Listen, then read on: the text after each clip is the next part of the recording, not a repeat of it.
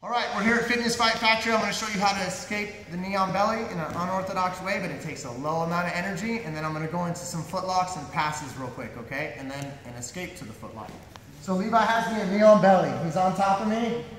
And especially like when he has his hand at my hip, I do this a lot. Like guys will go to side control. Guys will pop up from side control, pushing on the hip, and that arm's back here. I use my knee to come inside this space right here, and I, and I literally just blocking his arm. I can block it like this, I could block it like this. And I drop my left knee to the mat and it sweeps him over. Boom, okay? Now his leg is exposed here. So I'm able to wrap it up right here, okay? And I'm gonna posture up, I hook the leg and I bring my foot back. Make sure that I'm not reaping right now because we're doing it like uh, without reaping, okay? So my, my heel's in, I'm not like this, my heel's in and my knees are pinched.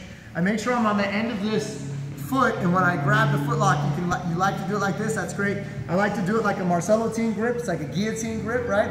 And I crunch my shoulder and my elbow tight, but then I'm doing an oblique crunch, like so I'm crunching sideways, so I'm going this way. Boom, and he taps. Different than when we have the foot on the bottom side and we're trying to belly down. It's a different movement. I'm doing a side crunch, bang, like that. Okay, so essentially, like what I'm saying is, on shoulder to hip, I'm going sideways. That's the movement. Okay, let's go again. So he's got me in the on belly. He may have, actually let's back up. He may have, stand up, he may have come around the corner from when I had spider guard. Maybe I was like this and neon on, he comes in and he's knee on belly. Same thing, so I can knock him right over.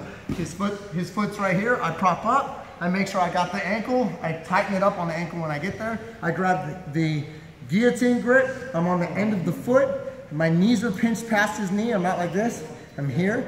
Now I can arch towards his knee and tap him. But Levi can show the escape. You want to show the escape? Yeah. All right, so when he's here, no matter how strong his pinches, his inside thigh muscles, okay, that open that way, are not going to be as strong as my hamstrings and quads going forward like we're walking. Right, so I want to get my hips in line. I make sure I come up on my hand, okay? I come up, I throw my leg over, and now it's like I'm walking. I'm stomping his leg out. Okay, I'll walk up on my hands, and go right back to knee on belly. Okay? I'll actually keep him towards his side, and I have his arm trapped with my with my legs now. His arm's stuck. I can work on chokes from here. Okay? Just right your knee a bit. There you go. And it sends him right away. Alright? Escape, come up, get my hips in line, come over the top, stomp his leg away. Walk my hands forward, come up. I'm on his ribs, it's a lot of pressure, and I'm trapping his arm. I can work on chokes.